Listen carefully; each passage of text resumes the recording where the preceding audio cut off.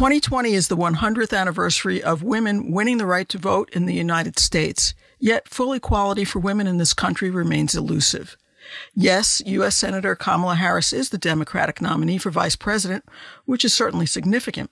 Yet she's only the second black woman ever to be elected to the U.S. Senate, which has only seen 57 female members since the dawn of our country. Only one quarter of the Senate is female today, while the much larger House, with 435 members, is 23% female. The number of women at the top of the business world is also scant. We have just reached an all time high of 37 women CEOs of the Fortune 500, but that means that almost 93% of those top companies are led by men. Why has it taken so many years for women to make even these gains? What are the particular challenges faced by women who strive to be leaders? How can psychology help us better understand the factors that hold women back or push them down or discourage them from aiming for the top? Welcome to Speaking of Psychology, the flagship podcast of the American Psychological Association that explores the connections between psychological science and everyday life. I'm Kim Mills. Our guest today is Dr. Alice Eagly, a professor of psychology at Northwestern University who, for many years, has studied the psychology of gender, especially sex differences and similarities in leadership, prosocial behavior, aggression, partner preferences, and socio political attitudes. Dr. Eagly has written numerous articles, chapters, and books on these topics. Her most recent book, Through the Labyrinth The Truth About How Women Become Leaders, challenges the common metaphor of the glass ceiling. Welcome to Speaking of Psychology, Dr. Eagly. I'm pleased to be here, Kim. This is not the first time a woman has been on the vice presidential ticket in this country, and women have run for president, although only once as a major party candidate. Is there something different about what's happening now, and are the reactions from the media and the public different this time around? Well, yes. Uh, I think that it was entirely expected, even demanded, of a Democratic candidate such as Joe Biden, because uh, the support for the Democratic Party is stronger among women than men. So it really called for women being represented. And then it's a time when there's a good deal of protest and unrest over minority issues. And so choosing a woman of color certainly made sense to represent that community, which tends to lean Democratic, but to, to you know, to call on their loyalty in this particular way. So I think it was entirely expected and uh, generally very well received. Yeah, that's been interesting that there has not been a whole lot of backlash, I think. Um, no. Uh, I mean, what are the characteristics that make her um, less of a target? Uh, she is uh, quite uh, qualified in the sense that she had a number of political roles in California, and she is a senator. Um, and so she has very good qualifications that would be normal in a male candidate. Uh, so she's qualified in that sense. Uh, she's also quite gifted as a speaker and and a debater, as as was displayed earlier in the hearings in the Senate. So I think she struck the public as you know, somebody who had the toughness to be a good campaigner. So, what particular challenges do women politicians face first as candidates and then once they're elected? Well, there are serious challenges that are embedded in the culture, in a sense, um, in terms of the way we think about leaders and the way we think about women and men. So, this is well established in studies on stereotyping uh, done by psychologists and political scientists in this case. So we know that people think women are the nicer, kinder, more compassionate sex, more sympathetic to others, better social skills, uh, and that men are the tougher, more agentic, we call it, more assertive, more aggressive sex. Okay, you know about that. But then people think about uh, leaders as more agentic than communal. So they think about, you know, they have to take charge, they have to be tough, tell people what to do often. So that image is widely shared in the culture and is much more similar to men than women. So that puts women at something of a disadvantage. And it sort of goes like that. Well, she's, you know, she's very nice. Um, but then the but is, um, you know, I don't know if she's tough enough to handle that kind of situation. Could she really hold up in a big debate? You know, could she get people to do things? Would she have the respect and authority? Um, and so that lingers in the culture. And so women have to overcome, in a sense, these um, anxieties people have. It's not about being a good person or a competent person, it's about being a tough enough person to really take on that kind of role that demands a lot of competition and assertion. And and yet, if if you're too tough as a woman, then that cuts against you as well. That's right. That's the agency paradox. so if you're very uh, assertive, like, so you say, well, okay, I'll be just like a man. Wrong. that doesn't really work for women. Um, unless you know, they could take on qualities of being assertive to some extent, but not to go to the extremes is dangerous, but add to it the qualities of warmth and kindness and empathy.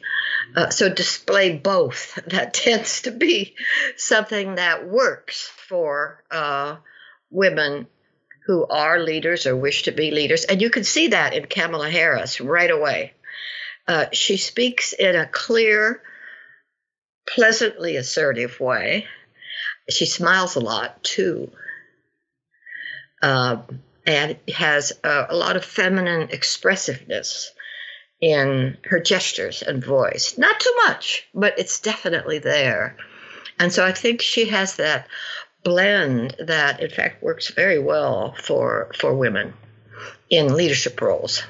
You recently published a study that looked at a large body of nationally representative public opinion polling and found that women are now perceived as being just as competent as men, as well as more communal, but they're seen as less ambitious. How have these views changed over the past decades? Is this good news for women leaders today? It's mixed news. um, so, this study was based on representative public opinion poll uh, data where people were asked about men and women. And the data go back to 1946 and then through 2018. So, it's quite a nice series. And so the way the pollsters do this is they ask a very direct question. They say, like, intelligence, more true of women, more true of men, or equally true. Um, and so we do see a lot of change in that um, women's competence relative to men has risen. So most Americans now say equal. um, but those who don't say equal are more likely to say women than men. So there. Uh, competence leans slightly in the female direction. So that would be like being intelligent. Um, the other change is rather unexpected to many observers, I think, or social scientists in particular, that the communion of women versus men has increased. So now it's overwhelmingly true if you say uh, something like sympathetic, more true of women or men, it's women. so that has changed over time to be more extreme.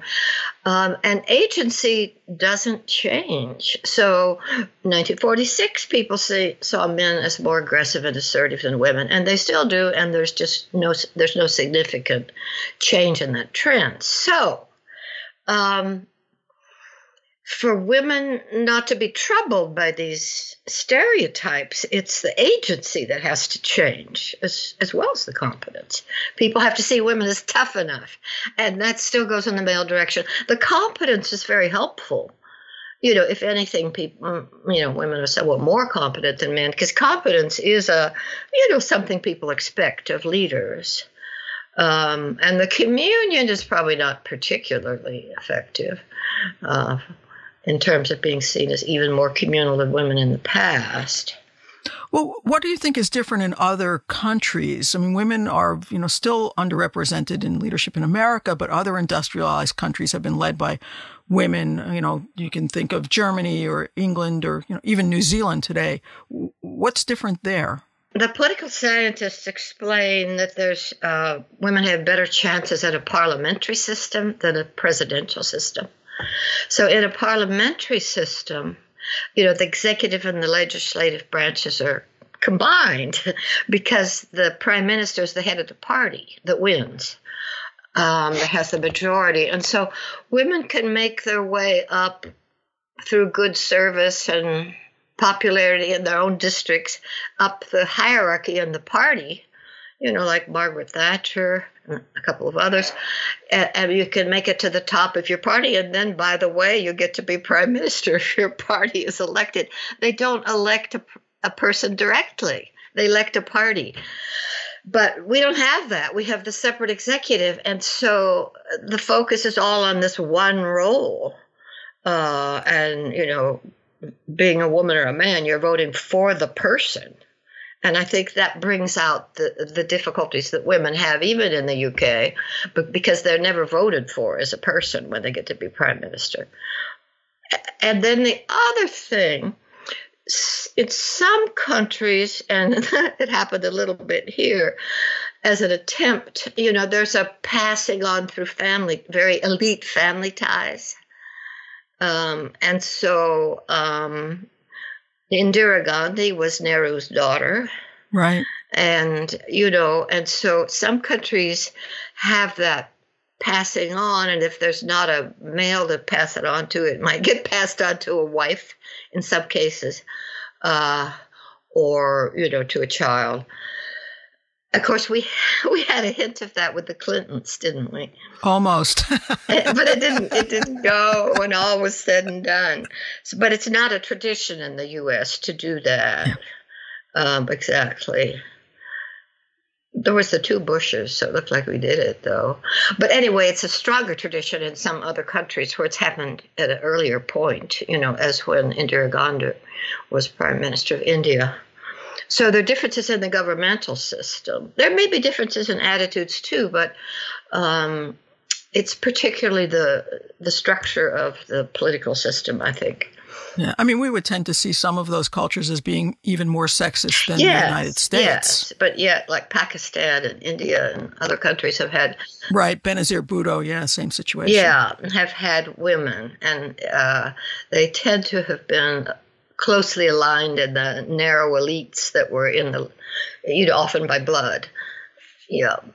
So, in your book, Through the Labyrinth, uh, you challenge the notion of the glass ceiling, that solid but somewhat invisible barrier that most of us think women face when it comes to reaching the highest echelons of leadership. Why do you think that metaphor is not apt and that a labyrinth is closer to the challenges that women face? Well, there's a couple of reasons at least. One is it suggests a very solid barrier, and I don't think it's like prejudices aren't like that. They are more fungible and malleable. Um, and it isn't that we've never had women as, for instance, CEOs in the Fortune 500. Some there are some, and have been others. Um, but the other reason it suggests that the barrier is right near the top, right? So you move up through your career, and oh my God, you can't be CEO because there's this barrier at the top, next to the top. But that's not how it works in terms of careers in management or other areas that involve leadership. The challenges are all along the way it's in day one you go to work. In as a you know a manager just coming in with your mba the challenges you have as a woman are, are there and they're there every day. And as you rise there are different challenges you know it goes on and on. So it isn't as if there's, you're exactly the same as men and then near the top there's a glass ceiling. It's really a completely wrong metaphor. Uh, it, you know it has some some truth to it, perhaps, but um, it doesn't adequately represent the nature of the challenges, which are all along the way. And so that's why we propose Labyrinth. Uh, that the man has a relatively straight road. You know, maybe he has some bumps along the way or whatever, but um, the woman has to go through this labyrinth, so she has to be smarter, right? And she has to figure out how to how to overcome these challenges that she might face as a woman. She might take a wrong turn, but you know, it's possible to turn around and go on, you know, um, if you're really persistent. Um, but you got to expect you might get confused at some time and, you know, take a wrong turn. So it more represents the true complexity of, of women's careers in leadership than a glass ceiling does. You published a meta analysis in 2011 that examined the extent to which stereotypes of leaders are culturally masculine. Can you talk about those findings and whether these stereotypes have changed in the intervening years? Right. We did publish a meta analysis. Um, it, it, involved actually three underlying types of studies that had looked at the leader stereotype. The most famous paradigm was started by Virginia Schein, and it's called the Think Manager, Think Male paradigm. It started first in 1973. Uh, and in that study, there are three groups of participants. One rates women, one rates men, and one rates managers or leaders. Um, and they do it on a long list of traits. And then they correlate these ratings um, the men group to the leader group and the woman group to the leader group. And they find the male leader correlations are much higher than the woman leader correlations, which is just what we said before. People think that leaders are, you know, masculine and assertive, and some men are more like leaders than women are. And so that's why it got called the think manager, think male paradigm. And so it started in 1973, so we could look at it over many years, and we did find some shift. And that was the woman leaders relationship. There was some gain in thinking that leaders had more feminine characteristics, that is, in particular, more social skills. So the, the notion of leader had changed so that, yes, people continued to think that leaders need to be tough and assertive, but by the way, they should be somewhat socially skilled. Um, and so it was a hint of androgyny coming in. But still the masculine characteristics won out over the feminine, even in the most recent uh, study. So it was a, a, shift that would be welcoming to women, this growth of androgyny, but it didn't go all the way to androgyny. Um, it just was some ad- addition of the social skills, sympathy, empathy kind of thing to what people expect for leaders. You've also looked at differences in pro social behaviors between men and women. How are they different and how are they the same? Pro social behavior, you know, encompasses a lot of different kinds of behaviors. And so we found that both sexes engage in pro-social behavior, a lot of it. So they're similar in engaging in this class of behaviors, but they tend to specialize to some extent in, in different aspects. Um, and one of the things we were interested in, in particular, was pro social behavior where the helper puts him or herself at some risk. Um, and that was interesting because there was a lot of differentiation. So men are more likely to do physically dangerous acts to save other people's lives, such as saving somebody from drowning, uh, running into a burning building and pulling out somebody, intervening in a crime setting where the criminal has a gun. Um, so these are truly life threatening. And although women sometimes do these things, uh, it's considerably less likely. But another thing that has some danger um, is uh, living kidney donation.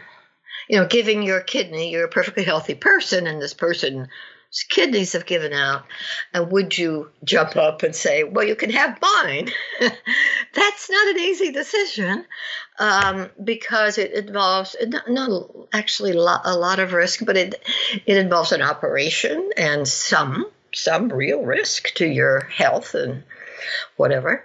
Um, and we find women are more likely to do that. Um, it's uh, to give parts of their body. It's often done in, in family. Uh, it's within families because the more you're genetically matched, you know, the safer it is for the person who receives it. But women are more likely to, um, and, and highly disproportionate for giving to a spouse. Women are much more likely to give to a husband than husband is to a wife. Um, and so, that's pretty amazing. so there's a dangerous kind of helping behavior, but it's it's somewhat female dominated. Um, so other kinds, you know, volunteer organizations. Um, such as doctors and nurses who go into dangerous situations and that kind of thing. It's very, women are very well represented uh, in those kinds of organizations, even though there's some risk.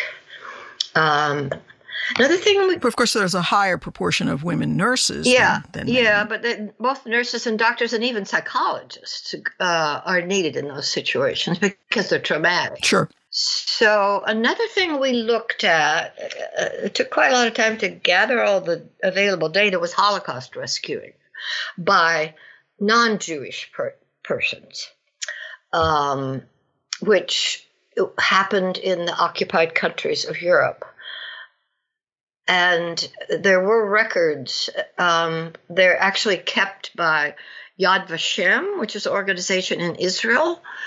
Um, and they are held at the also at the Holocaust Museum in Washington, from which we got the records, from which we could classify uh, the people by nation, nationality and sex, and we found um, women slightly overrepresented.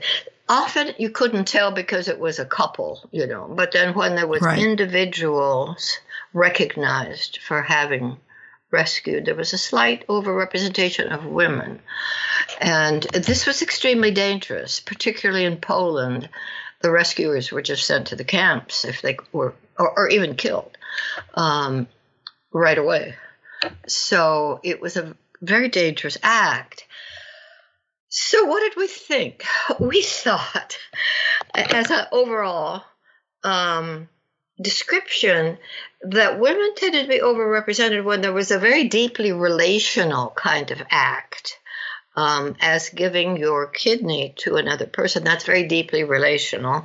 And the Holocaust rescuing often was too, because, you know, it would be a co-worker or a knock on the door and you had to let people into your house and hide, you know, in the Anne Frank case to hide them. So this was very deeply relational. And so the women um, was somewhat overrepresented when the helping was of this type. Um, and men were more overrepresented when the act demanded often physical strength, of course, and um, some sudden action of rescue in a dangerous situation and stranger rescue. You know, the person, yeah. the person that's out there drowning is often not in your family, um, but you, you know, it, you're at the beach and it becomes apparent. So that kind of stranger rescuing, demanding the very sudden decision, um, and often there was a you know could be a physical element um, in strength being an advantage that men are overrepresented.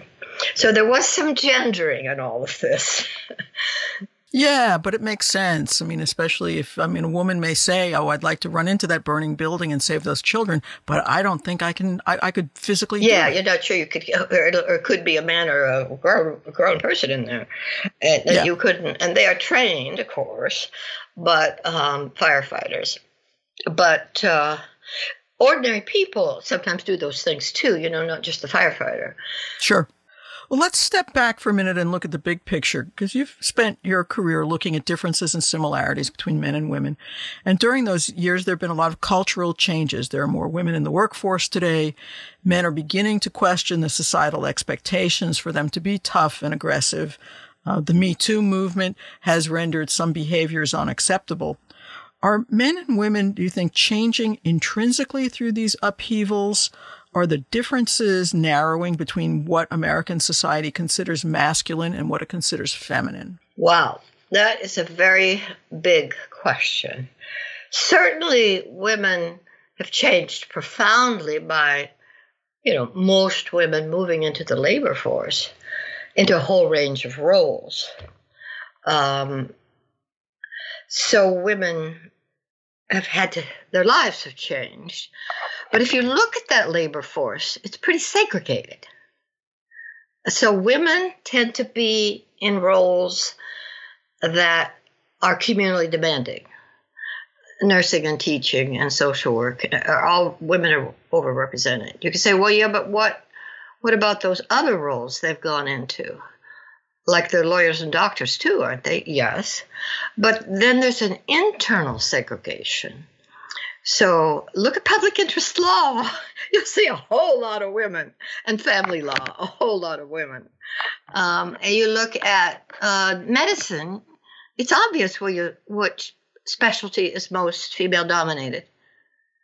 Pediatrics. Pediatrics. right um, and of course, gynecology and oh, psychiatry. There are a lot of women. So again, in the more communally demanding areas, and in management, in business, you could also guess which area is most female dominated.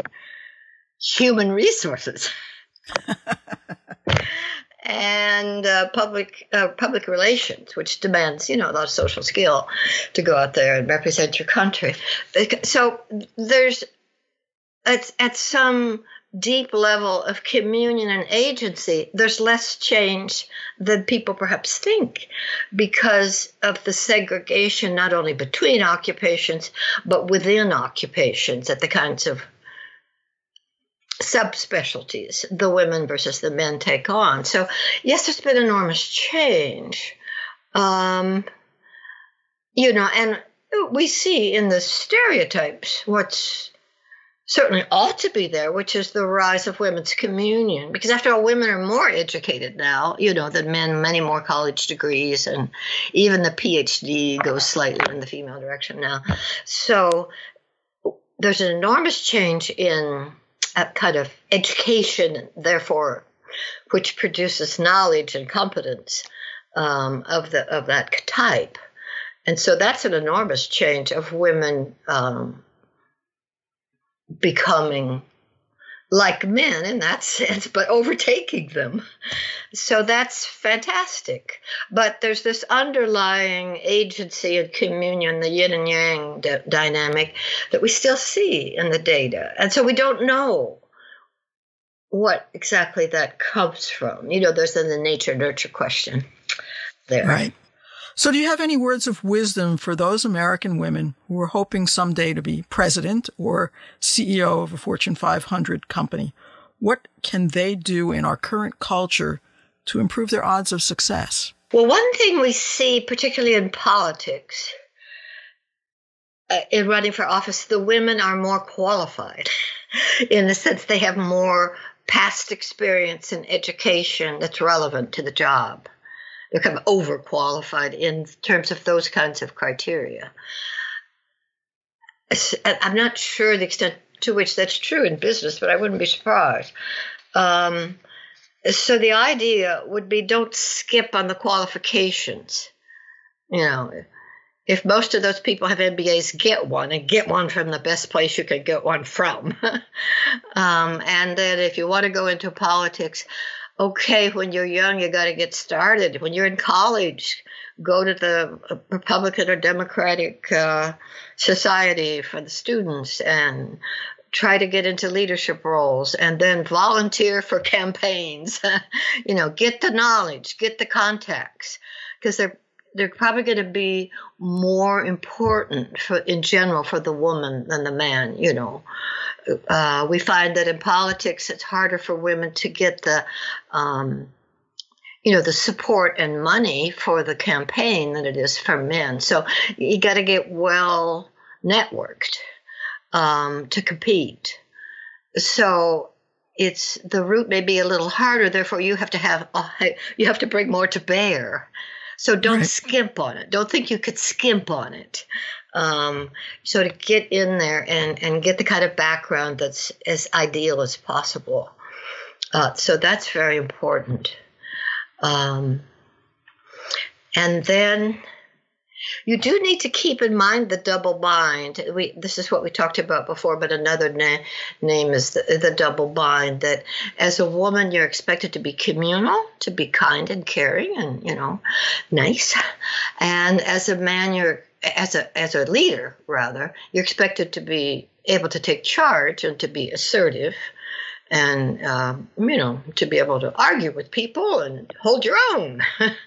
um, so the, there's both of those things. The men can just do the latter, you know, but the women have to to be successful. Ordinarily, have to bring the communion along because it's very important for them to be liked. Um, men could get away often with not being so liked.